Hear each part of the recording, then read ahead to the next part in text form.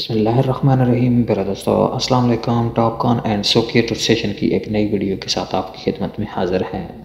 Spiral curve के first portion incoming के बारे में हम ऑलरेडी पढ़ चुके हैं। आज की इस वीडियो में हम स्पाइरल कर्व की आउटगोइंग के बारे में पढ़ेंगे।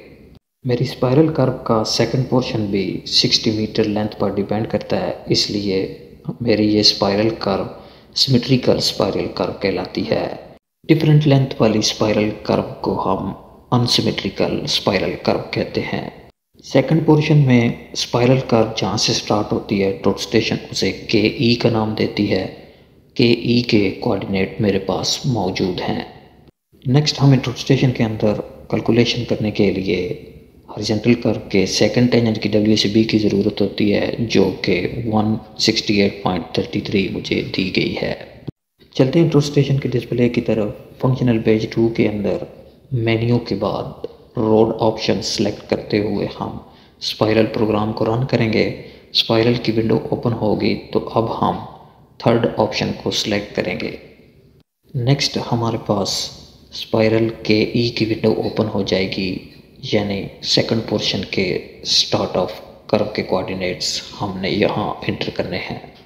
पिक्चर के अंदर स्पाइरल कर्व के स्टार्ट पॉइंट पर के ई के कोऑर्डिनेट्स जो आपको नज़र आ रहे हैं, मैं इन ही कोऑर्डिनेट्स को फॉलो करते हुए रोड स्टेशन के अंदर इन कोऑर्डिनेट्स को टाइप करने के बाद ओके बटन प्रेस करूँगा। तो हमारे पास नई विंडो ओपन हो जाएगी। नई विंडो के मुताबिक हमने हॉरिजॉन्टल कर्व के सेकंड टेंजेंट की डब्ल्यू सी बी इंटर करनी है, जो कि 168.33 हमें दी गई है।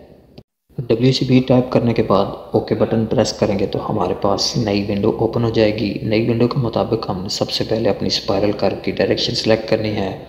मेरी स्पायरल कर्व की डायरेक्शन राइट साइड है क्योंकि मेरी स्पायरल कर्व की लेंथ 60 मीटर है, इसीलिए सेकंड पोर्शन का पैरामीटर भी 94.868 ही है। नेक्स्ट हमने के ई e से लेकर के ए यानी स्पायरल लेंथ 60 मीटर टाइप करने के बाद स्टेशनिंग के ऑप्शन में ज़ीरो और सेट आउटपुट में ज़ीरो रखे हुए ही ओके बटन प्रेस कर देना है। स्पाइरल कर्व का तमाम डाटा एंटर करने के बाद अब हम स्पाइरल कर्व के सेंटर लाइन एंड ऑफसेट पर किसी भी जगह के कोऑर्डिनेट्स कैलकुलेट कर सकते हैं। मैं सबसे पहले स्पाइरल कर्व की राइट साइड पर 10 मीटर के डिस्टेंस पर कोऑर्डिनेट्स कैलकुलेट करूँगा और उसके बाद स्पाइरल कर्व की लेफ़्ट साइड पर सेम 10 मीटर के डिस्टेंस पर कोऑर्डिनेट्स कैलकुलेट करूँगा। आप अपनी रिक्वायरमेंट के मुताबिक कुछ भी टाइप करते हुए डिस्टेंस देकर कोऑर्डिनेट्स कैलकुलेट कर सकते हैं। मैंने पिछली वीडियो में भी बताया था कि स्पाइरल कर्व की सेंटर लाइन के कोऑर्डिनेट्स कैलकुलेट करने के लिए हम सेंटर बटन प्रेस करेंगे और ऑफ़ सेट के कोऑर्डिनेट्स कैलकुलेट करने के लिए विर्थ बटन प्रेस करेंगे। तो सबसे पहले मैं सेंटर लाइन की स्टेशनिंग चेंज करूँगा। स्टेशनिंग चेंज करने के बाद हम ऑफसेट कैलकुलेट कर सकते हैं। सेंटर लाइन के अंदर मैं फॉर एग्जांपल 10 मीटर की स्टेशनिंग पर कोऑर्डिनेट्स कैलकुलेट करना चाहता हूँ। ये जो कोऑर्डिनेट्स कैलकुलेट हुए हैं, ये सेंटर लाइन के कोऑर्डिनेट्स हैं। इसके बाद मैं विथ बटन में जाकर ओके बटन प्रेस करूँगा तो तब मेरे ऑफसेट के कोऑर्डिनेट्स कैलकुलेट होंगे।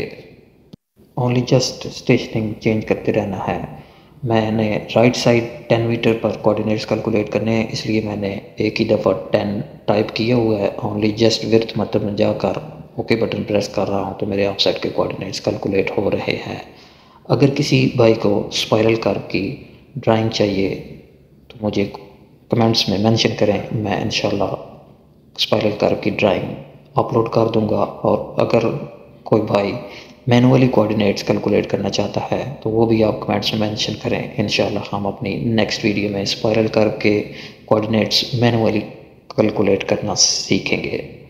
पिछली वीडियो में भी मैंने बताया था कि जब भी आपने लेफ़्ट साइड पर कोऑर्डिनेट्स कैलकुलेट करने हैं तो अपने रिक्वायर्ड डिस्टेंस के साथ मस्ट है नेगेटिव साइन टाइप करते हुए ओके बटन प्रेस करना है तो तब हमारे लेफ़्ट साइड पर कोऑर्डिनेट्स कैलकुलेट होंगे।